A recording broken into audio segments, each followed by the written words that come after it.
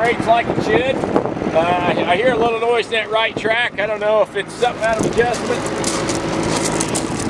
Feels like it's popping a little bit, so I don't know. There might be, uh, I don't know if it's a little bearing. I don't know, but there is definitely a little bit of a noise or a feeling of, uh, I can feel something not quite smooth in that right track. It operates like it should, it seems like. But just know that. This thing's got beautiful paint on it.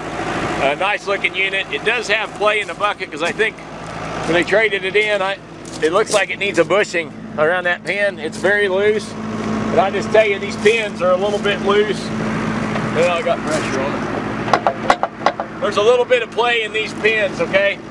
Just just know that, but I think I think it's going to need a bushing in there that they forgot to put in when they put the bucket on it when they were trading it. I'd say it's sitting wherever it was at. We didn't have one, so that's what you're seeing. Runs good. It's a nice looking machine for the hours and looks like it's got practically new tracks. I'd say these tracks aren't all that old.